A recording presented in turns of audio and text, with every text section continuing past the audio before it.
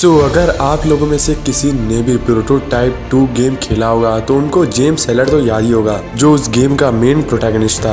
वही जेम्स हेलर जिसके पास बहुत सारे डिफरेंट टाइप ऑफ़ पावर्स थी। सो so, या आज हम लोग बात करेंगे कि क्या जेम्स हेलर में इतना दम है कि वो थॉर जैसे बींग को हरा सके।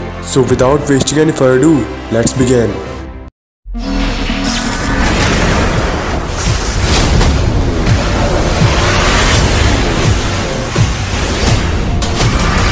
इस वीडियो में मैं आपको दोनों के पावर लेवल्स के बारे में बताऊँगा और लास्ट में अपना एक कंक्लूजन दूँगा। सो स्टार्ट करते हैं अपने पहले कैरेक्टर से, जो कि है थॉर सो जो सबसे पहली पावर थॉर में आती है, वो तो ज़ाहिर सी बात है सुपर ह्यूमन स्ट्रेंथ। अब थॉर ने कॉमिक्स में ऐसे ऐसे कारनामे किए हैं, जो कि ज़रूर दिखाते हैं कि उसकी सुपर ह्यूमन स्ट्रेंथ कितनी ज़्यादा है। उसने द मिडगार्ड सरपेंट को अपने हाथों से लिफ्ट कर लिया था, जो कि अर्थ के साइज़ का आधा है, और उसने कई मौकों पे हल्क को हैंड टू हैंड कॉम्बैट में हराया भी है।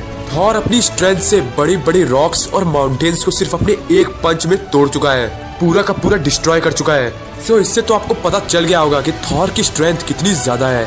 अब थॉर की जो दूसरी पावर आती है, वो है उसका गॉड ब्लास्ट अब ये पावर उसकी इतनी ज़्यादा खतरनाक है कि इसको अगर थॉर अपनी फुल पोटेंशियल से यूज़ करे तो this can practically destroy anything यानी कि ये जो उसका गॉड ब्लास्ट है, ये बीच में आने वाली किसी भी चीज़ को और अपने टारगेट को पूरी तरीके से डिस्ट्रॉय करने की कैपेबिलिटी रखता है। और थॉर ने इस पावर का यूज़ बहुत बार किया है कॉमिक्स में। लेकिन इस पावर का यूज़ थॉर जल्दी नहीं करता है। इस पावर का यूज़ थॉर तभी करता है जब उसको सबसे ज़्यादा ज़रूरत होती है, क्योंकि इस पावर को एक बार यूज़ करने के बाद थॉर की लगभग सारी एनर्जी खत्म हो जाती है, क्योंकि वो अपने गॉड ब्लास्ट में अपना फुल पोटेंशियल लगा देता है, जिसकी वजह से उसका गॉड ब्लास्ट बहुत ही ज़्यादा पावरफुल होता है। अब जो तीसरी पावर थॉर में आती है, वो है उसकी सुपर ह्यूमन स्पीड अब कॉमिक्स में तो Thor one of the most powerful character तो है, लेकिन वो one of the most fastest character भी है। वो अपने हैमर म्यूनियर के साथ कॉमिक्स में कई मौकों पर स्पीड ऑफ़ लाइट से तेज ट्रेवल कर चुका है। और एक बार तो उसने कॉमिक्स में क्विक सिल्वर को भी पकड़ लिया था, जो कि एक्समैन वाले वर्जन की बात कर रहा हूँ मैं। अब अगर आप लोगों ने मूवीज़ देखी होगी तो आपको पता होगा थॉर उड़ने से पहले अपने हैमर को राउंड राउंड घुमाता है। और वो इतना तेज घुमाता है कि उससे वो एक बहुत बड़ा टॉर्नेडो भी जनरेट कर सकता है। सो इससे तो आपको थॉर की स्पीड का अंदाज़ा लगी गया होगा। अब जो थॉर की एक और इंटरेस्टिंग पावर आती है वो है ऑल्टन अब आप इमेजिन करिए, अगर कोई भी बंदा अर्थ पे रहता है और अगर उसको लैंग्वेज में इंटरेस्ट है तो वो ज़्यादा से ज़्यादा पाँच, दस या फिफ्टीन लैंग्वेजेस सीख लेगा अपनी पूरी लाइफ टाइम में। लेकिन आप इमेजिन करिए थॉर को तो पूरे यूनिवर्स की लैंग्वेजेस का पता है। अब क्योंकि थॉर एक एसगार्डियन गॉड है और प्रोटेक्टर है पूरे नाइल रेल्स का तो ज़ाहिर सी बात है, उसको लैंग्वेजेस तो सीखनी पड़ेगी और उसने सीखी भी है, ताकि वो यूनिवर्स के डिफरेंट रेसेस से कम्युनिकेट कर सके। थॉर के पास है इनवलनरेबिलिटी अब ये तो ज़ाहिर सी बात है, वो एसगार्डियन गॉड है और ओडिन का बेटा है, ये तो सबको मालूम होगा, लेकिन बहुत कम लोग को मालूम हुआ कि वो एल्डर गॉडेस गैया का बेटा है, जिसको मदर अर्थ भी कहा जाता है। अब उसका बेटा होने के कारण और इम्यून है सारी तरीके के अर्थ के डिज़ीज़ से, वो एक्सट्रीम टेम्परेचर में भी बहुत आराम से सर्वाइव कर लेगा। यानी कि उस पर हीट का भी कोई असर नहीं होता है। थॉर इज़ वर्चुअली इनवलरेबल अब उसके सिर्फ़ स्किन ही नहीं इम्पेनेट्रेबल है। सारी तरीके के वेपन से, बल्कि उसको तो सन के बीच में भी फेंक चुके हैं। लेकिन तब भी वो वहाँ से सर्वाइव करके आ चुका है। उसने ओडिन के ब्लास्ट को भी सर्वाइव किया है। उसके ऊपर डूम्सडे बॉम्ब का अटैक हुआ था, लेकिन उसको हार्डली कोई भी स्क्रैच आया था। अब लोग ये तो सोचेंगे कि वो तो गॉड है, उसको क्या हार्म होगा? लेकिन मैं आपको बता दूँ, किसी भी गॉड को हार्म करना पॉसिबल है। लेकिन बस चाहिए तो बहुत ज़्यादा अमाउंट ऑफ़ पावर जैसा कि हमने देखा होगा कि क्रिटोस भी गॉड था एंड अजूरा भी गॉड था। लेकिन फिर भी वो लोग हेल में गए, क्योंकि उनके अपोनेंट बहुत ज़्यादा पावर कैरी करते थे। इसीलिए अब थॉर के पास है सुपर ह्यूमन सेंसेस अब जो थॉर के सेंसेस है, उसको आप कम समझने की गलती मत कीजिएगा।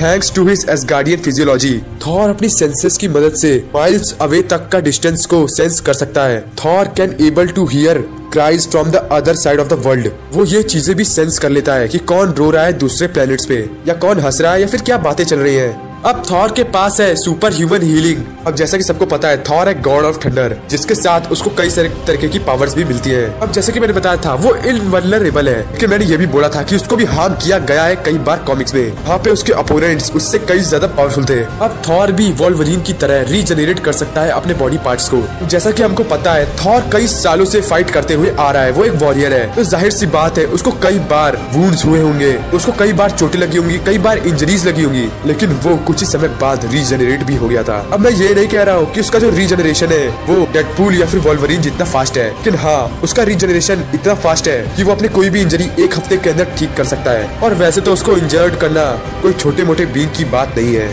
थॉर के पास अर्थ कंट्रोल की पावर्स भी है। थैंक्स टू हिज मदर गाया जिसको मदर गॉडेस भी कहते हैं। उसी के कारण उसके पास ये अर्थ कंट्रोल की पावर आई थी। जिसमें वो अर्थ का वेदर अपने हिसाब से चेंज कर सकता है। और वो तो मूवीज़ में भी ऐसा करता रहता है। लेकिन आपने थॉर को मूवीज़ में सिर्फ़ वेदर चेंज करते हुए देखा होगा। लेकिन मैं आपको बता दूँ कि थॉर कॉमिक्स में अर्थ पे अर्थक्विक भी ला सकता है। In the time of need जब भी थॉर को ज़रूरत पड़ेगी, तब वो अर्थक्विक ला सकता है। वो कॉन्टिनेंट्स को हिला सकता है। एक दूसरे से दूर कर सकता है। उसके ऊपर अर्थ का पूरा कंट्रोल है। अब इसके अलावा थॉर के पास सेल्फ सस्टेनेंस की पावर भी है। यानी कि थॉर बिना कुछ खाए पिए कई सदियों तक जी सकता है और लड़ भी सकता है। यानी कि वो बिना बीच में ब्रेक लिए, वो लड़ता ही जाएगा।